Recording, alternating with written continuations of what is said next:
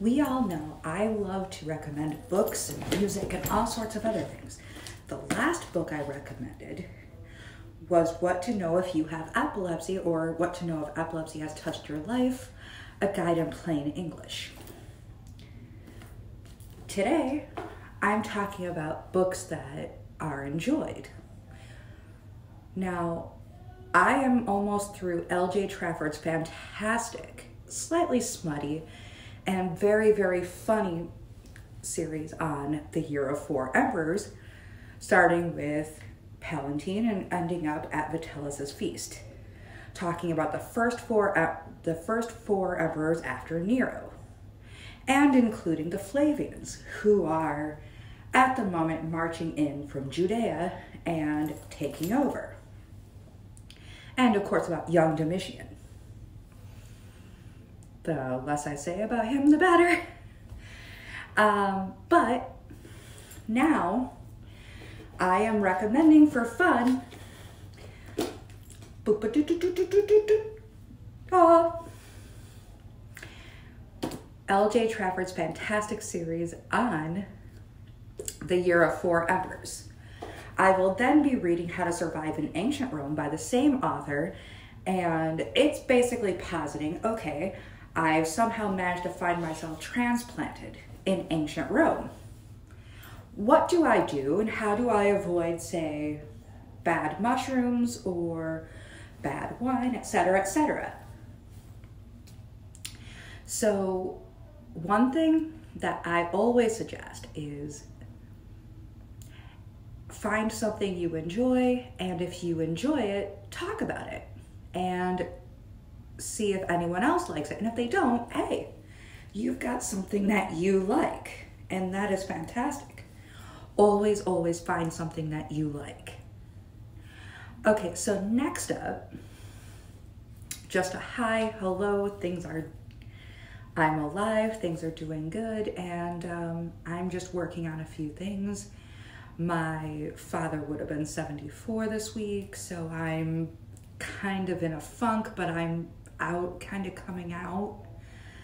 Um, I am currently working on comfort and getting out of here and planning for the future as I can, taking the courses that I need to get out, uh, mostly talking about how to handle other people, how to budget, how to do this, how to do that, so that I can in turn be a more well-rounded Beth, and um, so on and so forth.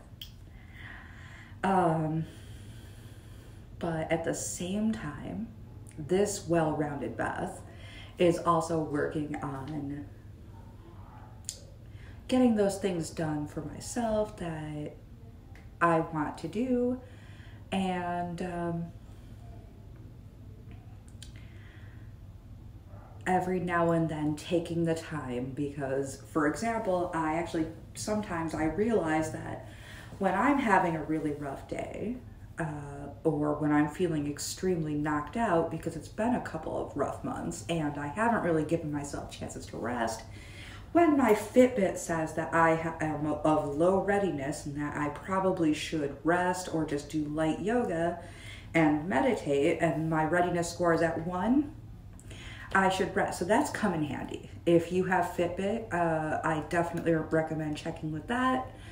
Um, and if you have rough times, you know, it's okay to be upset and it's okay to be mad and it's okay to rage against a machine, by which I mean the toaster, obviously. Um, but it's also okay to take the time to rest. And that is something that I'm learning um, as I go and also just be. So, anyway, you are loved. I know I'm loved, and I know that things get better. And actually, these budgeting courses are quite fun. And I think it's because I have something to do.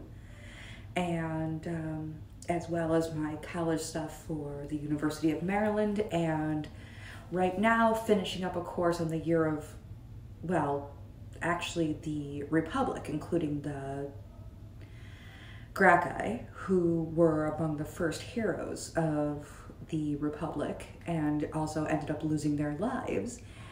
And it's very interesting. In fact, I will talk about that where, you know, the rich and powerful take over things that are meant to be for everyone else, you know, and leaving people like soldiers who fight poor and selling themselves into slavery to get themselves back where they're supposed to be. So look for a video on the Gracchi. I can't promise I'm going to be able to inject any humor into it, but it sounds fascinating and I do love the Gracchi. Tiberius and his brother Gaius. And I love the fact that they tried to rage against the machine, by which I mean the proto toaster.